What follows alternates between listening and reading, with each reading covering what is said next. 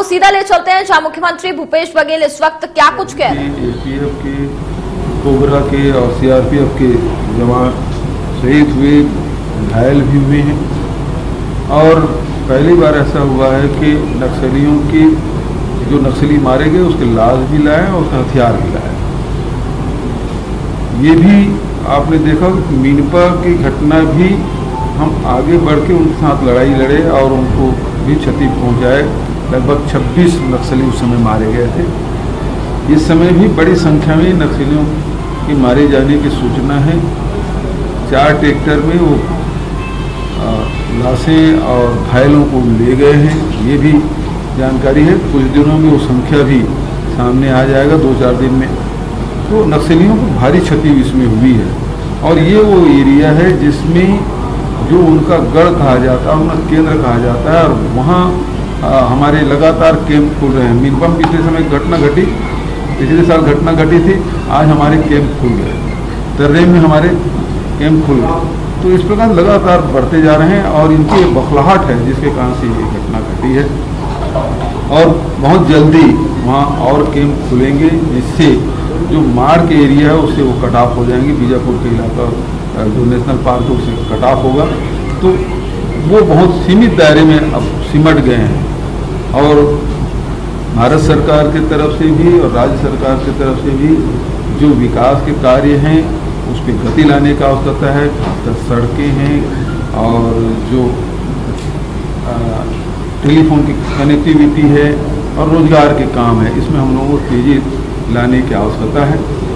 आ, और इस दिशा में अभी बातचीत भी हुई है और सार्थक बातचीत हुई है और केंद्र के बल और राज्य के बल के जो दोनों अधिकारी हैं उनके बीच में प्रॉपर समन्वय भी है और संयुक्त रूप से ऑपरेशन भी हुआ है और आगे भी इस प्रकार से होगा। आज केंद्रीय मंत्री यहाँ पर हैं और नस्ली समस्या लगातार बढ़ते जा रही है जो अभी जो बैठक हुई है उस बैठक में आप पूरा विश्वास है कि केंद्र से आप जो सहयोग मांग रहे हैं वो सहयोग मिलेगा? बिल्कुल समन्वय है और हम लोग अपनी डिमांड रखे हैं और जैसे जिस प्रकार से गृह मंत्री जी ने बताया कि ये कोरोना काल के कारण से कुछ विलम्ब हुआ है मुझे पूरा विश्वास है कि हम लोग जो डिमांड किए हैं वो पूरा होगा।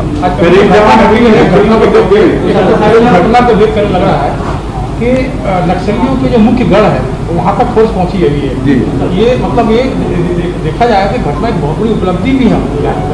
लोग मारे गए हैं शहीद हुए हैं अच्छी बात मतलब बुरी बात नहीं है लेकिन जो वास्तविकता है वो ये है कि एक ऐसा गढ़ है जहाँ पर हरमा का क्षेत्र था। वहाँ तक पुलिस का पहुँचना ये अपने आप में उपलब्धि है।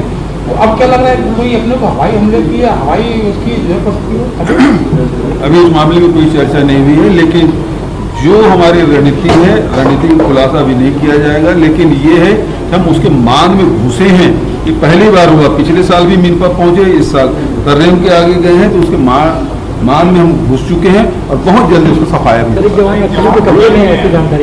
एक जवान अभी इसी में जानकारी हमको ग्रे हाउस सर्विस है जो आंध्र प्रदेश में काम करते है। यहाँ छत्तीसगढ़ में लागू करेंगे एक जवान भी देखिए कई सारी चीज़ों के निर्णय हुए हैं। मैं नहीं मानता निर्णय सार्वजनिक रूप से चर्चा करनी चाहिए मगर बहुत डिटेल चर्चा हुई है।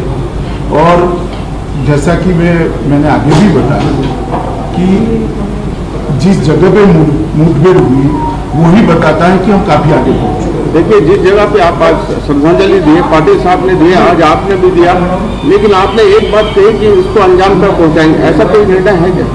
नहीं मैंने कहा ना कब बहुत सारी चीज़ें चर्चा हुई आज मीटिंग में मगर इसको सार्वजनिक नहीं किया जवान वो बोल रहे हैं।